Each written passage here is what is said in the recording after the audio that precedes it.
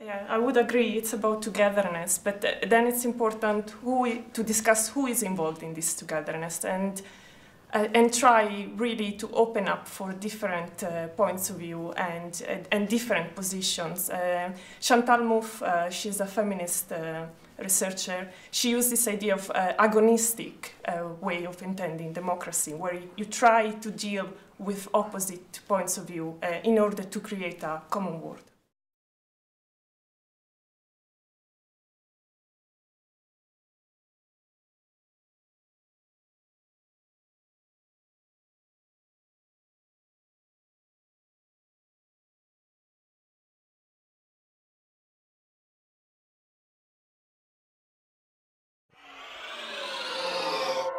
You